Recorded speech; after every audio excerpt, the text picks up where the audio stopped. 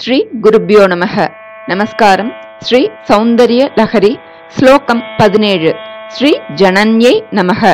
சாஸ்திர ஞானம் பெற சகல கலைகளிலும் வல்லமை உண்டாக வாக்குச்சாதுரியம் பெற்று சபைகளில் பெருமிதம் உண்டாக இந்த ஸ்லோகத்தை சொல்லணும். இதற்கு முந்தின ஸ்லோகத்துல சத்வகுண ரஜோகுண சரஸ்வதி வர்ணனையை பார்த்தோம். இந்த ஸ்லோகத்துல வாக்குச்சாதுரியம் தரும் வசின்யாதி தேவதைகள் பத்தி பார்க்க போறோம். கவித்ரீபிர் வாச்சாம் சசிமணி ஷிலாபங்க ருச்சிபிகி வஷின்யாத்யாபிஸ்துவாம் சகஜனனி சஞ்சிந்தயத்தியக சகர்த்தா காவ்யானாம் பவதி மகதாம் பங்கி ருச்சிபிகி வச்சோபி வாக்தேவி வதன கமலாமோத மதுரைஹி சவித் सवित्रीभिर्वाचां शशिमणिशिलाभङ्गरुचिभिः वशिन्याद्याभिस्त्वां सहजननि सञ्चिन्तयति यः सकर्ता काव्याणां भवति महतां भङ्गिरुचिभिः वचोभिर्वाग्देवी वदनकमलामोदमधुरैः सवित्रीभिर्वाचां शशिमणिशिलाभङ्गरुचिभिः वशिन्याद्याभिस्त्वां सहजननि सञ्चिन्तयति यः सकर्ता काव्याणां भवति महतां भङ्गिरुचिभिः वचोभिर्वाग्देवी वदनकमलामोदमधुरैः இந்த ஸ்லோகத்தோட அர்த்தம் தெய்வத்தின் குரல்லேருந்து சேர்த்து பார்க்கலாம். இதுல வாக்தேவின்னு சொல்லாம வாக்தேவதைகள்னு பகுவச்சனத்துல சொல்லியிருக்கா. ஆவ்ல இருந்து பதினாறு உயிரெழுத்துக்களுக்கு ஒரு வாக்தேவதை அது வஷினி. இப்படி எட்டு வாக்தேவதைகளை இங்க சொல்லப்பட்டிருக்கு. இவா வஷின்யாதி தேவதைகள் அப்படின்னு சொல்லப்படுறா. அல இருந்து பதினாறு உயிரெழுத்துக்களுக்கும் அப்புறம் க வர்க்கம் ச வர்க்கம் ட த ப ய ஷ. இப்படி எட்டு வாக்தேவதைகளா வஷினி காமேஸ்வரி மோதினி விமலா அருணா ஜெயினி சர்வேஸ்வரி கௌளினி இவா வசின்யாதி தேவதைகள் அப்படின்னு சொல்லப்படுறா. இவ தான் அம்பாளே உத்தரவிட்டதன் பேர்ல லலிதா சகஸ்ரநாமத்தை பாடியவர்கள்.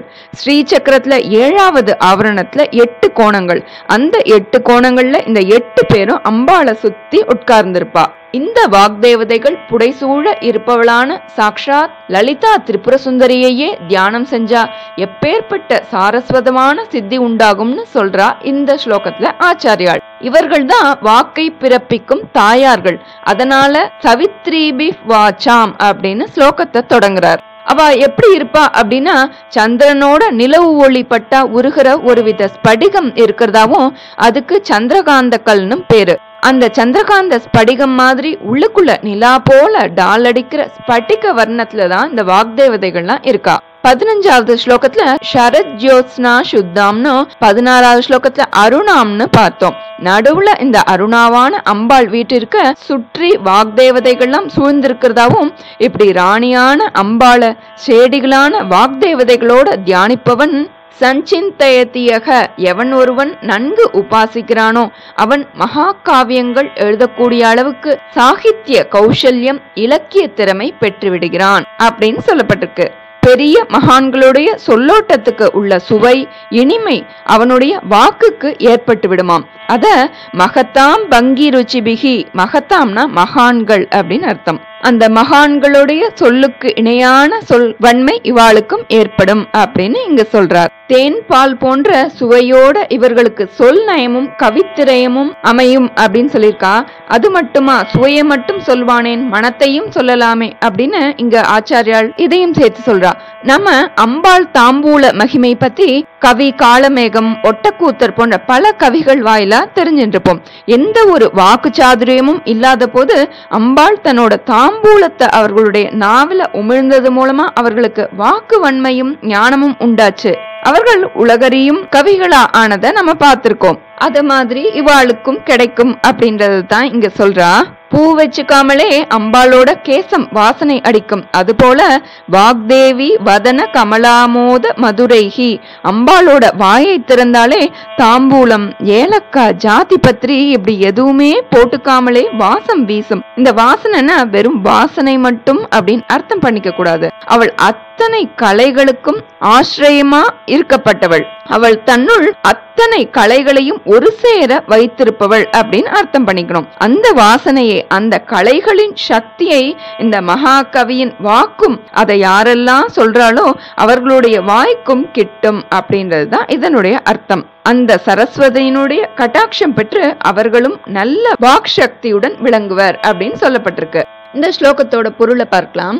தாயே நீ வசினி முதலான எட்டு வகை சக்திகளுடன் கூடியவள் அந்த சக்தி தேவிகள் நவரசங்கள் நிரம்பிய சொல் நயத்தை அளிப்பவர்கள். அவர்கள் சந்திரகாந்த கல்லை பிளந்தது போன்ற வெண்மை நிறமுள்ளவர்கள். அவர்களையும் உன்னையும் உபாசனை புரிபவன் பூஜிப்பவன் மகாகவிகளின் காவிய படைப்புகளை போன்று படைப்பவனாக ஆவான் சரஸ்வதி தேவியின் தாமரையை ஒத்த திருமுகத்தின் வாசனை உள்ளவனுமான வார்த்தைகளால் பல காவியங்களை இயற்ற வல்லவனாக ஆவான் அப்படின்னு இந்த ஸ்லோகத்துல ஆச்சாரியால் சொல்லியிருக்கா सवित्रीभिर्वाचां